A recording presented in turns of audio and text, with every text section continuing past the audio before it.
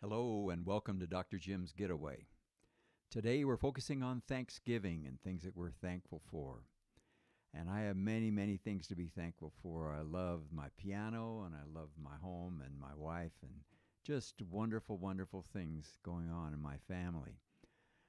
And uh, I'm thankful for a certain friend that I want to dedicate these next few songs to. I just learned of his passing last night, and he passed earlier this month.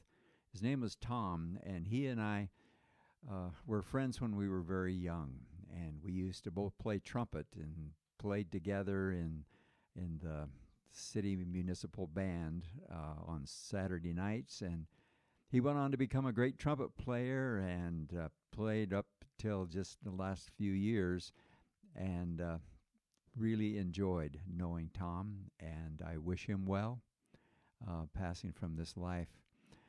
And I wish his wife Beverly all the best as well.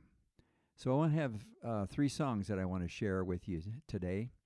Uh, they're gospel songs. One of them is called Peace in the Valley. The second one is Will the Circle Be Unbroken? And then finally, I'll Fly Away.